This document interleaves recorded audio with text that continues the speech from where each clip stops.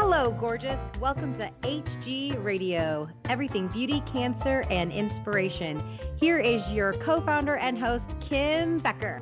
Hello, gorgeous, and thank you for joining us today.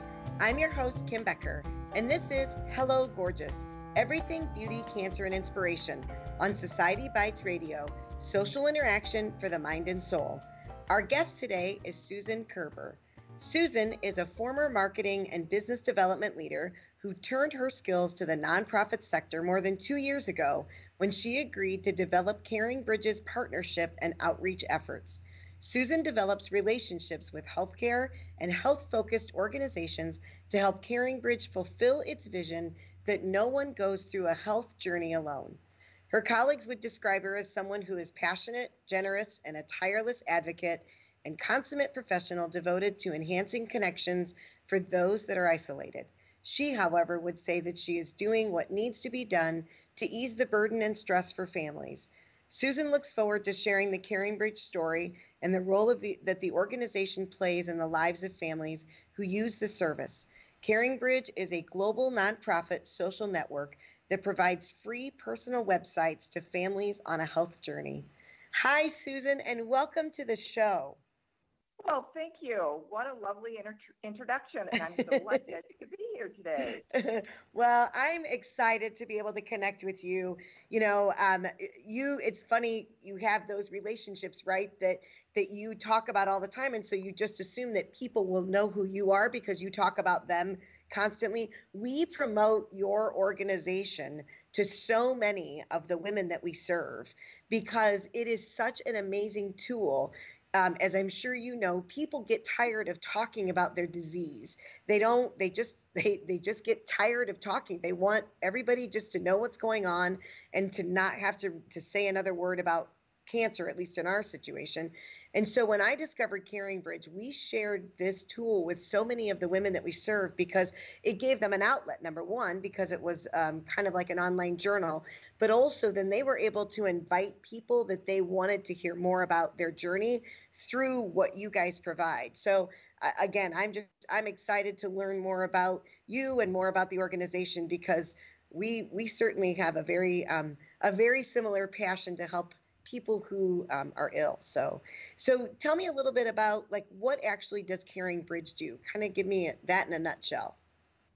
Sure, and I'll just add on what you've already said. You mentioned that we're the largest nonprofit social network dedicated to health, and that we offer free patient, you know, and family-centered websites. And really, the purpose of Caring Bridge is to connect patients and families during that health crisis treatment and recovery so everyone is together and the patient feels, um, you know, that sort of sense of, of, of, belonging and purpose with their life and feeling um, as though their friends and family are really coming together with them on their health journey to, to help them and to offer them a way forward in terms of, you know, support messages on Caring Bridge and what um, I what I love too is the fact that you create almost like a private environment for them as well. You know, social media is so big right now. You know, they could put it on Facebook, but then everybody and their brother sees it. And what you've been able to do is that they can use this journal as an online outlet, but then they get to pick and choose kind of who reads that information. Yes, they do. Um, you know, the one, the good thing about Caring Bridge, unlike some of the other social media tools, is we do not sell advertising, and sites can be easily personalized with photos, videos, and you can even name your site.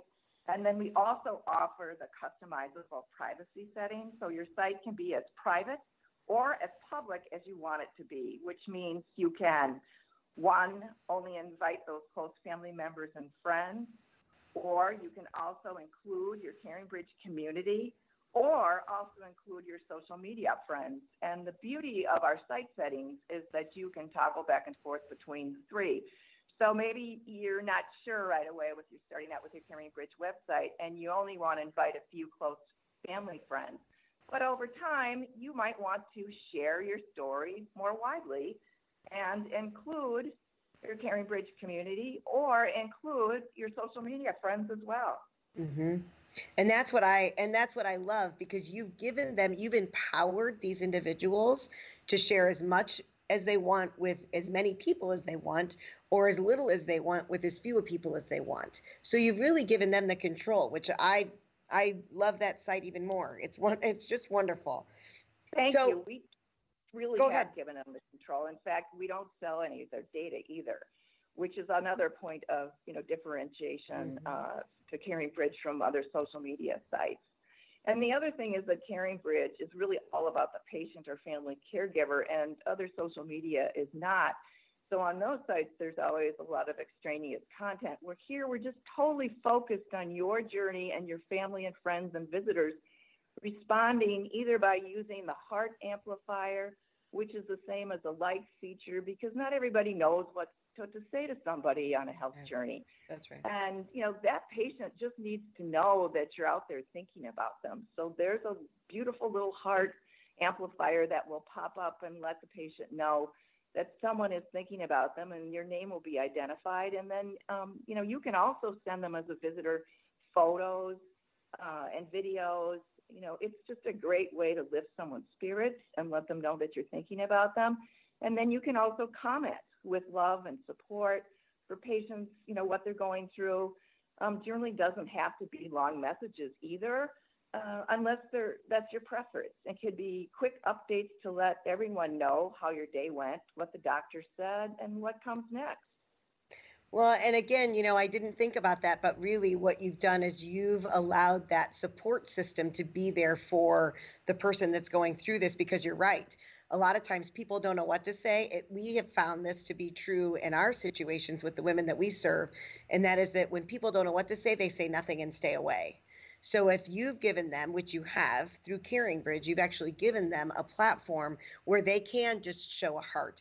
They could just say, Hey, I'm thinking about you. There doesn't have to be any awkward silence or anything because of the platform that you've set up. So it's not only to even empower just the patient, but you empower the people that want to support them. You've given them a platform to be able to do so. You're absolutely right. And from my own personal experience, I lost a dear friend to ovarian cancer before, before Caring Bridge was in the marketplace. Uh, Caring Bridge started in 1997.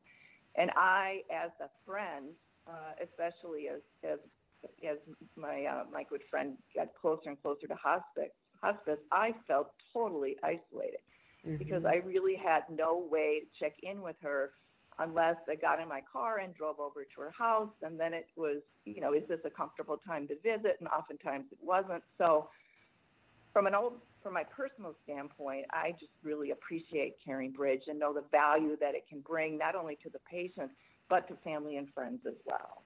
That's right. And so I, I, I hate to even have to ask this, but I don't know. Uh, how did Caring Bridge even start? Sure. And before I get into that, I just want to mention because um, since we are a, a, social media tool, um, oftentimes people wonder, like, well, is it tough to get it started? And really, it only takes about two or three minutes to create a Caring Bridge website. That's and we have a live customer care team standing by and a chat forum. So if there's any issues, there's always someone to reach out to uh, to help you get started. That's and wonderful. Yeah, and then in terms of how we um, how we started, it's a lovely story. Caring Bridge was really started out of love by our founder, Sona Mehring, for her dear friends, Joanne and Darren, who experienced serious complications with their premature baby. Mm-hmm. They asked Sona to communicate to family and friends on the progress of the baby, which she did for a few days, but found herself emotionally and physically exhausted from reaching out to everyone and trying to share the same information to keep everyone informed. Now, this was the early days, so this was 1997. So this really, you know, predated all of social media. Yeah. So we're really for the first um, social media um, site out there. Um, after several days of Sona trying to keep everybody connected and having a technology background, she went down to the basement of her home in Eagan, Minnesota, which is where we are still headquartered, and she created the first Caring Bridge website for baby Bridget.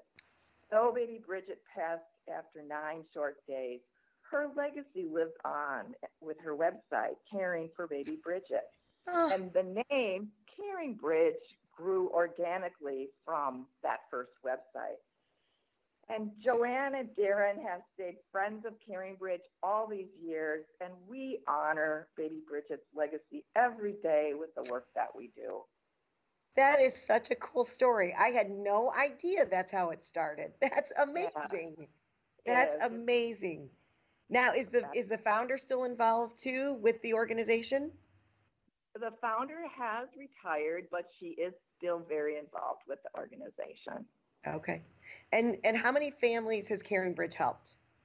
Oh my goodness. To date, we have more than 800,000 sites, and these websites have received more than 2.1 billion visits with 30 plus million visitors annually.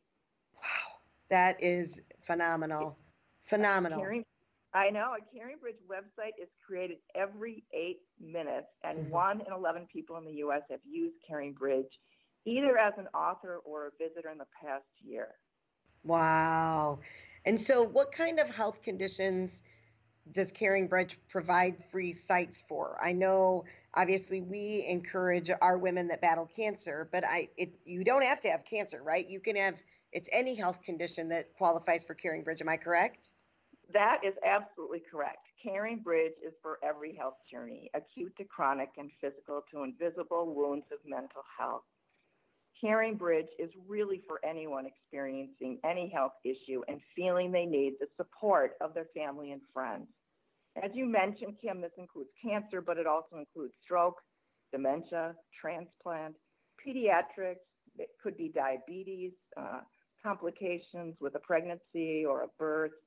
Um, I, you also probably want to know, and your audience will, that over 64% of sites are created by family caregivers with 36% of sites being created by someone experiencing a health situation or crisis. So um, it's just really natural for a family caregiver to well, to turn to CaringBridge to help them manage all the chaos that might be going on with the health condition of a loved one. Wow. And so, um, what are some of the organizations then that CaringBridge actually partners with? Absolutely. We value the support of healthcare organizations in referring CaringBridge to their patients. And we know this is an important source of site starts for us. We have um, higher site starts with um, hospital outreach um, than we do in other forms. So, you know, and you think about it, if you're hearing about Caring Bridge from a nurse or a social worker or your doctor, uh, somebody that you totally trust, you're going to check Caring Bridge out and see if it's something that you should start. The hospitals um, that we work with, um, gosh, we work with thousands of hospitals around the country, but Mayo Clinic, Cleveland Clinic, we just started a relationship with the Department of Veterans Affairs, Dana Farber, and gosh, many, many others. And then we also partner with organizations like yourselves, nonprofits, American Cancer Society, American Stroke Association, Dementia Action Alliance, um, you know, really we, we're all working together to champion each other's efforts because at the end of the day, all we want to do is help ease the burdens of families. Mm-hmm. And I think, you know, I was surprised, which is why I try and pass your word along to so many. Um, you know, I would, my first question is to a lot of our women after they're in the midst of their makeover is, you know, have you ever heard of CaringBridge or do you have that? And some of them do have sites and some of them had not ever heard of it. And it really does help them um, to know about it. And then, you know, once we kind of introduce that to them, we let them go to the website and kind of check it out for themselves. But I think it's that I just to even educate people to let them know, look, this exists and it's it doesn't cost anything, right? What does it? Are, how is the site paid for, and and how are the services paid for? Well, yes, excellent question. So it doesn't cost a thing. The sites are free, and the services are paid uh, by our donors. Um, so 90% of our funding comes from the people who have used CaringBridge, and the average donation is $65, which is incredible. And 10% yes. from in kind donations or other revenue sources through grants. So obviously, the people that are using CaringBridge truly value it and want to pay forward for another family that can use its services. And we were talking about like the the different um, you know conditions that can actually um, be a part of CaringBridge. Do you notice do you have? Is there there more cancer than dementia? Is there more mental health than um, more mental health than actual physical health? Do you do you have any? I mean, who do you think uses it the most? I think uh, those conditions that I mentioned earlier cancer, stroke, dementia, transplant, pediatrics, diabetes, complicated pregnancy or birth. Um, I think those are some of the top conditions for sure. Uh, mental health, certainly in the country, is on the rise, most definitely uh, with the Department of Veterans Affairs. It's something they're trying to tackle with veterans and service members. In fact, uh, we have a signed memorandum of agreement um, with the Department of Vet- Veterans Affairs, in particular, the Behavioral Health and Suicide Prevention Group is very interested um, in working with CaringBridge because of that connection that we can make with those who might be depressed or feeling isolated and maybe not even realizing, you know, that they're having th- potential thoughts of suicide. And just need the connection of family and friends and their peers to help sort of pull them back into the fold. That's right. Do you, you know, I some of our um, fun moments are when a woman comes back to us, you know, two and three years later and says, you know, my Hello Gorgeous Day was the best day of my life. Do you guys get the opportunity to meet many people that have used your services through a time when they really needed this tool for support? We do um, get a chance to meet them, and they reach out to us, and we reach out to them. If you look at the resource section in caring CaringBridge, it's just chock full of just incredible stories, heartfelt stories from um, our, our users uh, telling us about their health journey and you know how CaringBridge and their family helped them through that journey and helped them emotionally heal. Do you have a favorite story? Oh gosh, I don't know if I have a favorite story. Um, there's just so so many to share. Mm-hmm.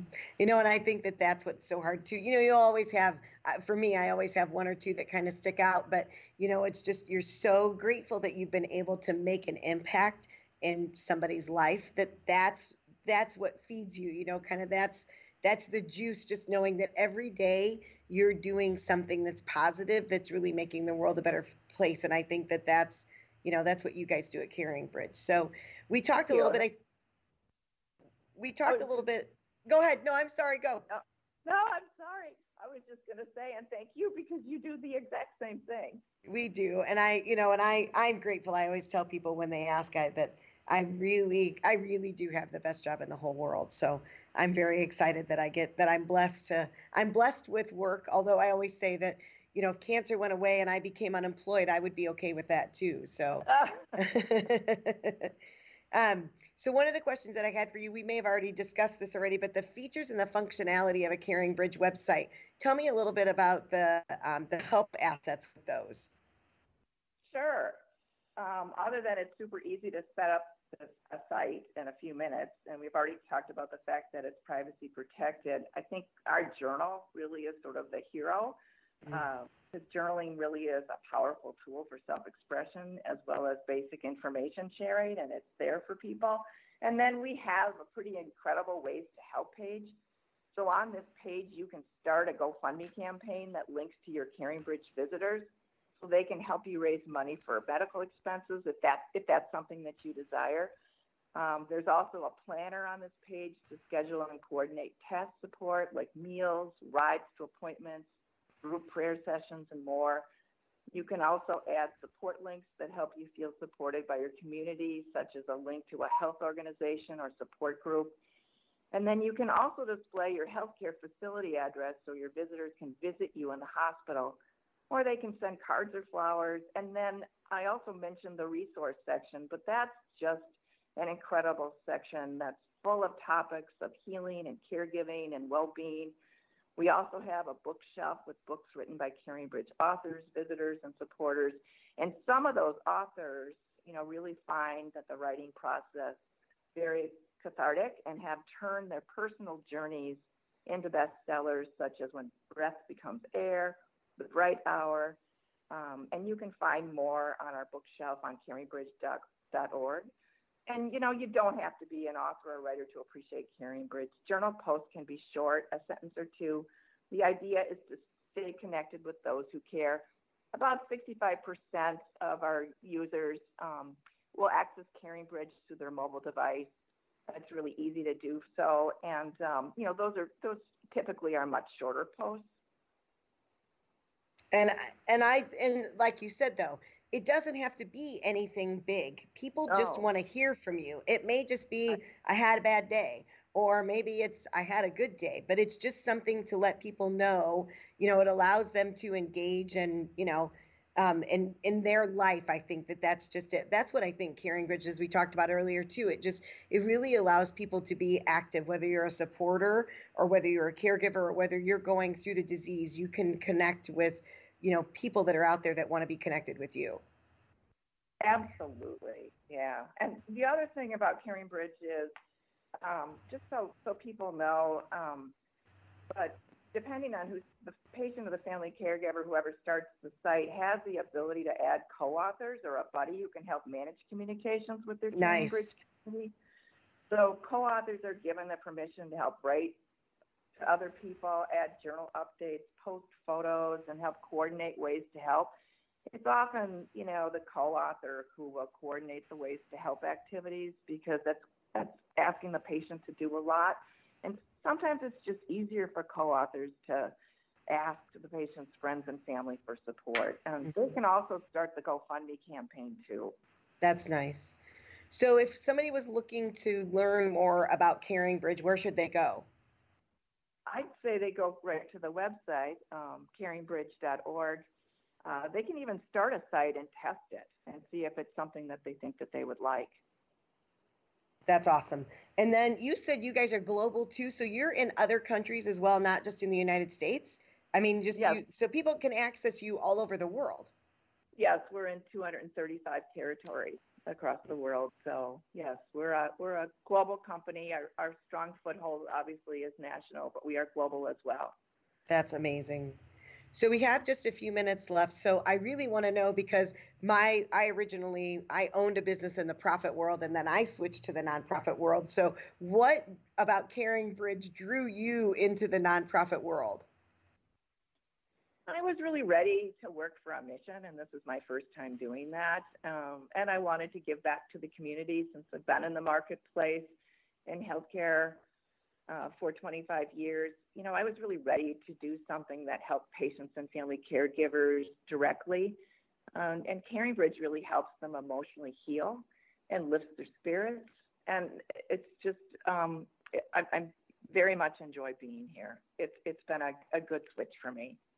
Well, and I think too, you know, it's just you really want to, as life goes on, you find the importance in in the, the little things but it's also i think that it's it really is knowing that you're making an impact right? And i think that for you guys and what you guys are doing at, at caring bridge you can see by the number of sites that are created and the activity on the sites that caring bridge is truly making an impact in this world with with the like you said the playing field all the way across from the person that's actually dealing with the disease to the caregiver to the people that want to know more about the person that's actively going through whatever their health challenge is. And so it that has to feel good too, just knowing that you're making an impact.